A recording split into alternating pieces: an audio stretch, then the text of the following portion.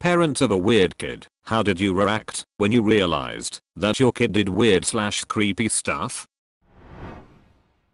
My kid is into nature documentaries. Very into nature documentaries. One day, when he was 3 years old, my wife was getting his bath ready. She was bent over the tub, checking the water temperature. My son shoved his face in her ass, took a huge whiff, walked away and said AHH. Dominant female butt. I have since realized not only is he into nature and its beasts, but he retains almost anything he sees while watching those educational shows. He is also most likely going to be an ass man.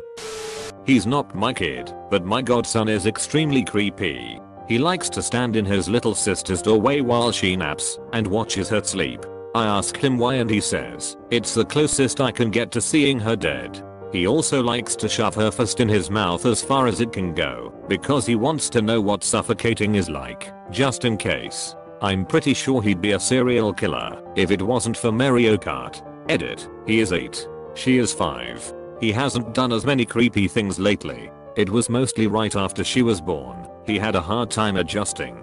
He still says the odd weird thing here and there but nothing as bad as what I mentioned above. His offhand comments are much more innocent, such as I'm going to sell you on Kijiji and I'm going to sell you for a quarter and ask for change to his sister. Also his character in Mario Kart is always Yoshi and although he is unhealthily obsessed with the game, He's an otherwise normal 8 year old. When I was supervising her in the bath she stood up, dropped her washcloth in the water, stood on it to push it under the water and menacingly whispered now think about what you've done. Funny in hindsight, but at the time I was a little concerned that my daughter tried to drown a washcloth. My kid is a classical musician. We are the village idiots, so I have no idea where this talent came from, but he is known as the weirdo in the family. Don't get me wrong we are very proud, and there really is nothing quite so moving as listening to the planets live from some major performing arts center. It has been a real education for us. Alas, we really don't fit in when we attend his concerts and we are the weirdos. Not my kid, but my nephew. He's 10 years old and is being taken out of school for homeschooling. He's had major trouble learning and fitting into the classroom in general. The weird kid aspect is this crush that he has on a girl in his class. I hesitate to say crush because it's full on creepy 10 year old stalking. His parents have had probably 30 talks with him about moving on and that this girl does not, will not ever see him as anything positive and that he needs to get over it.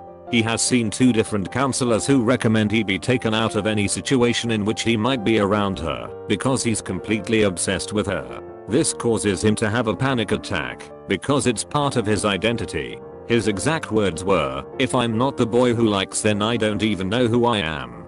That's me, I'm the boy who likes. He isn't allowed to have any type of electronics that can take pictures because he took his iPad to school and took a bunch of pictures of this girl.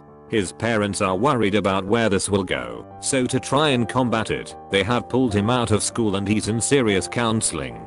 He's a sweet kid, but holy fuck, does he have some major fundamental problems. I babysat the neighbor's kids. When the parents went out the little boy, around 6 told me I'm going to kill mummy and took me to the top of the stairs where he'd tied string across the banisters at ankle level. I don't know if it's creepy, but my son loves fat bellies. When he was younger he used to hug people and smush his face in their bellies. He always liked our fat friends the best. He's 7 now and still keen I have to remind him that ladies don't like being told they've got a nice big squishy belly. My 3 year old daughter loves old monster movies. I'm in the habit of putting a movie on while I clean the house. I plugged on King Kong, 1933. Next thing I know my daughter is enthralled. She can't stop screaming what's that? A monster. And crying, crying when Kong kills a dinosaur. I asked her 5 times if she wanted me to stop the movie and got an emphatic no. Since then she's gone on to fall in love with Ray Harryhausen films and Godzilla films. She cries her eyes out every time Mothra leaves Earth in Godzilla vs Mothra, the battle for Earth. My wife was concerned that a 3 year old actually enjoys crying and watching movies that make her sad or scared. I just shrugged and found some old Kong and Godzilla toys on eBay when her friends who are girls come over she tries to get them to play monsters. They look at her like they have no clue what she's asking.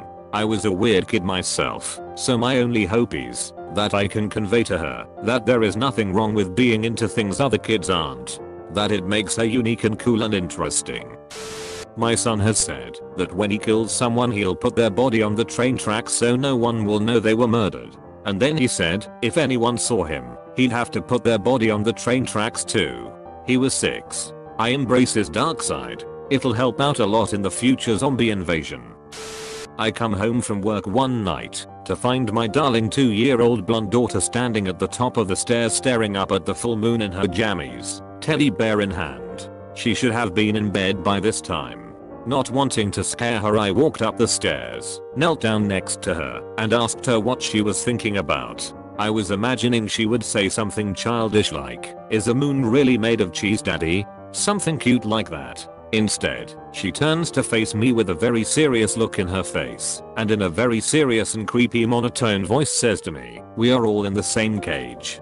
Two years old. I nearly died of fright I literally recoiled from her and ran back down the stairs backwards. I couldn't believe it. She said a few more creepy things like that, but it stopped after a while. Update that was 12 years ago. She has since turned into a very happy and well-adjusted teenager who is only slightly in league with Satan.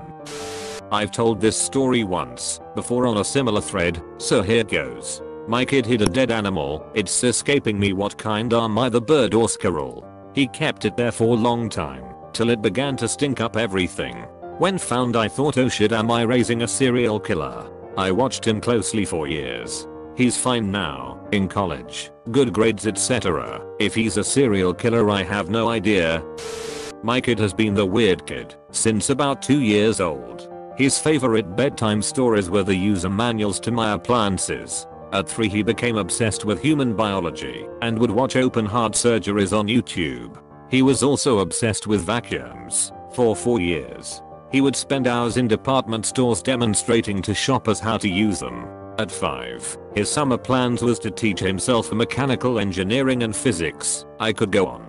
When he turned 3 years, when I started to suspect he was different. It scared the fuck out of me. He was my firstborn, so I had no idea if he was developing normally or not. His thirst for knowledge became extreme, and I didn't understand how to handle him. So at 4 I sent him to a child psychologist. I was terrified my son would have a nervous breakdown because although he was so young, he never, I mean never once in his life, played. All he did was learn. The psychologist made it clear to me that he was gifted, but that I had to force him to play. Otherwise he would develop OCD and other disorders. I'm trying to make this short. He is 8 now, and still different, but he does play. Sometimes. I'm happy he is who he is, but I can see that he has a difficult life ahead of him. He doesn't have many friends. Mainly because he would rather discuss the news than some new game or toy. I can say this though, I don't think I'll ever meet another human being who is anything like my son, and I love that about him. He's unbelievably interested in bugs of all sorts. In second grade, his class was learning about bugs and their body parts. Thorax, abdomen, etc. His test asked him to circle all the pictures of bugs that had mandibles. He got a point off for not circling a mosquito. He went and talked to the teacher and told her that the mosquito has a proboscis, not a mandible. She gave him the point back. Edit, it's me, I'm the weird kid who likes bugs. All these weird stories reminded me of this thread about shit kids say. I was visiting family for winter break in Los Angeles. This was about 5 years ago. I was heading to the bathroom on the second floor of my aunt's house when I saw my cousin, April, on the stairs. April was 4 and very animated. She was busy making funny faces while sitting on the stairs. I asked her what she was doing. She said, I'm copying the lady with the braid. I looked around. There was no one else but us. I asked, where is the lady, April? She pointed to a beam running parallel to the stairwell. I asked April, what is the lady doing?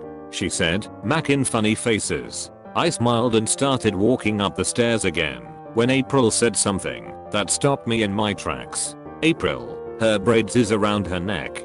I turned back and asked April to repeat herself. April pointed, the lady is hanging by her braid. She's making funny faces. Then April started making a face which I then realize was it someone gasping for air.